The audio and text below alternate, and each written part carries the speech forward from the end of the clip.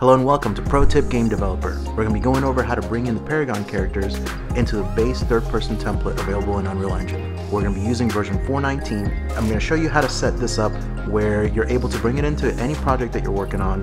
The results are, are pretty awesome. These guys are AAA quality characters. Pair these with some of the marketplace content and you have yourself something pretty amazing to start out with. Let's get to it.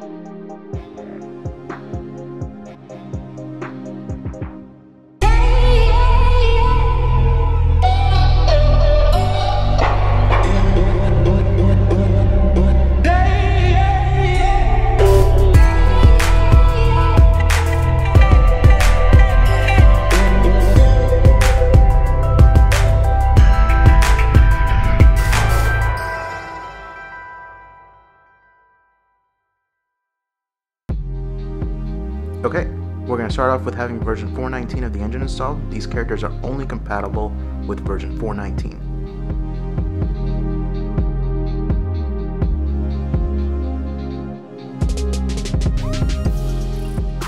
Unreal comes stock with templates to let you start any project that you think of. So we're going to start with a third person template and rename it Phase Test.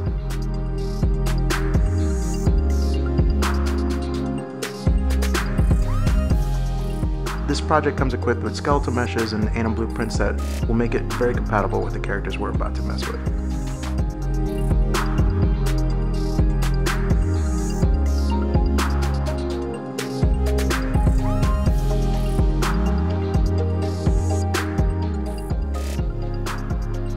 So as you can see, we have the mannequin, which is the default character for the third person template. We're going to go ahead and add phase to the new project that we just started.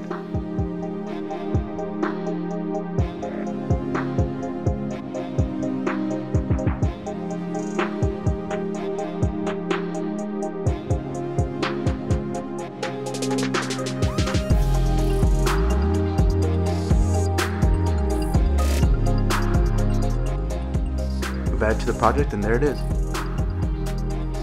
So we're going to navigate to her skeletal mesh go check out the mesh real quick.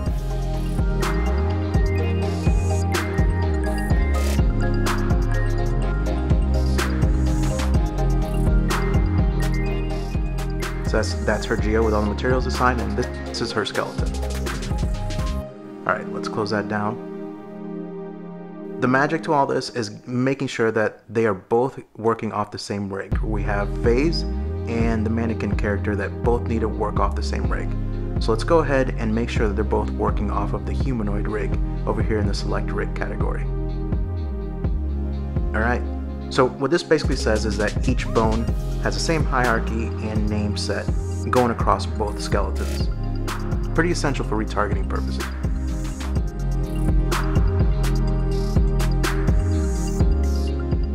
What we're going to do is set up the base pose so the retarget doesn't have to do too much work.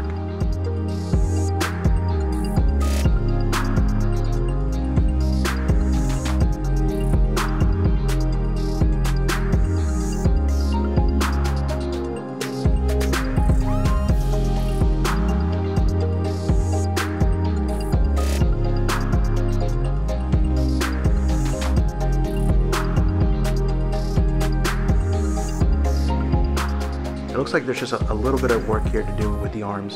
So let's just rotate the arms, make sure angle snap is on while we're moving it. Anything we can do to help out the retarget process is, is definitely ideal.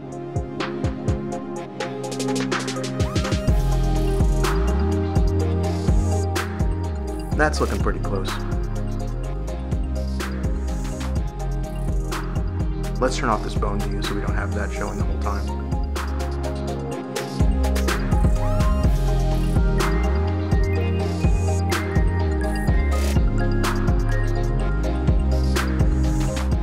Now we're ready to retarget everything. So we want to navigate to the mannequin's anim blueprint. As you can see in the retargeter, the Phase skeleton now shows up because we're both using the same rig. Let's go ahead and create a new folder because we're about to make a whole bunch of anims right now.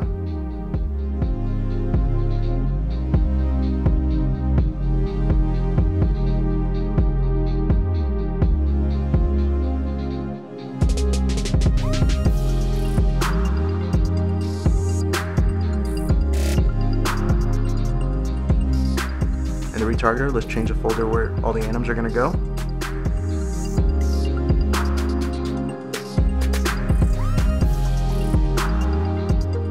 And hit retarget.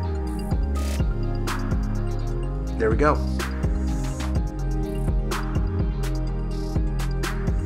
Alright, now we're to edit some of the bones and the properties.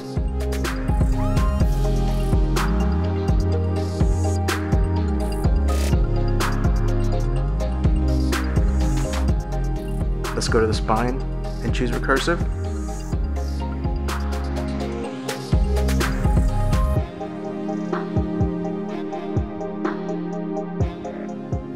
Let's do the same for the left and right thigh.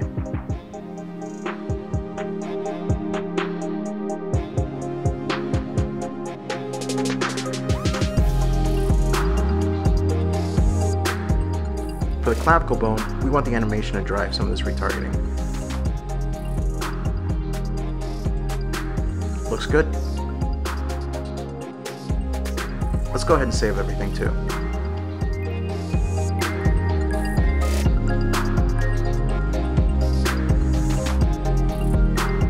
Alright, let's select the mannequin that's out in the world and let's edit this guy by right clicking on him.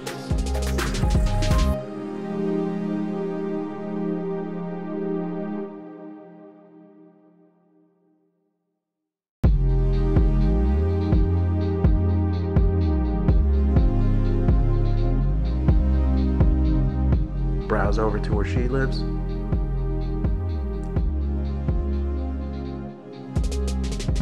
Drag the skeletal mesh. Boom. Alright. Almost there. Let's assign the brand new anim blueprint that we just retargeted as her anim blueprint.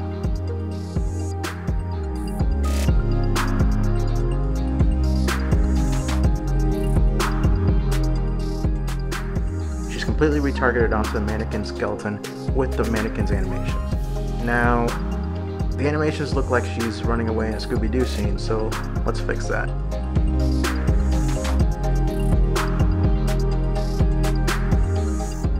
She's got much better animations that, that come with her.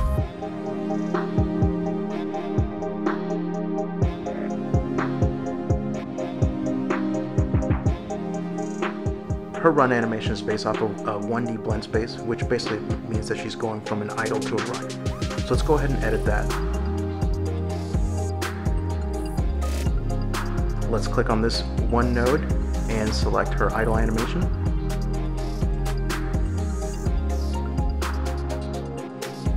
As you can see, she has her idle animation.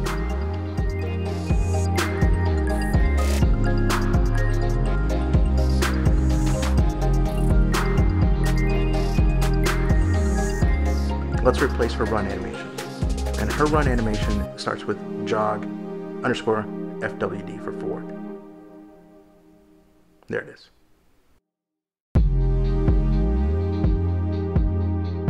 Alright, so we have a transition from idle to run. I want to delete this node, but I would suggest saving on this section just because I've had one crash already. As you can tell, there's kind of a, a slight bug where she's playing her idle animation at 2x speed, maybe 3x speed, but this is, it's just a visual bug. It's not, it's not really what's happening.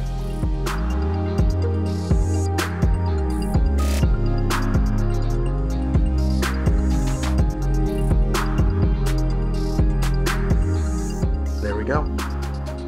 Phase is now running around with her animations in the third person template. Pretty painless, pretty awesome to see.